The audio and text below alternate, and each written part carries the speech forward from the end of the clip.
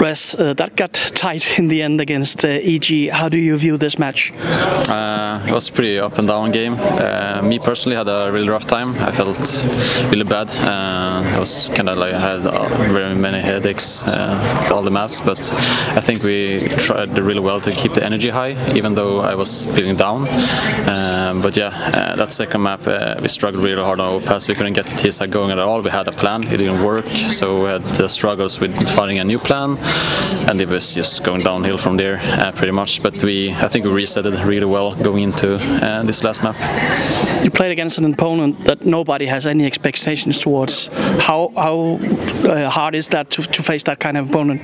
Yeah, it's uh, really difficult to face opponent that you don't really have any information about because you can't really anti-strat and you don't really have any good information you can play out of. So you kind of just have to rely on your own game. Uh, and we are, I feel like we are good at that. But uh, today it was really tough because they did a lot of new stuff. Because we had a kind of an idea like how they're gonna play because we against them before, and they have some uh, demos uh, like two or three maps, uh, but it wasn't enough for that. But when we think, when when I think of, of, of you guys, you should be trashing this kind of opponents. Uh, was it you guys who weren't playing up to your standards today, or were they surprising you in a positive way? I think this game was definitely on our on us if we would lose. Uh, we, I don't think we played well at all. We struggled and we made a lot of mistakes.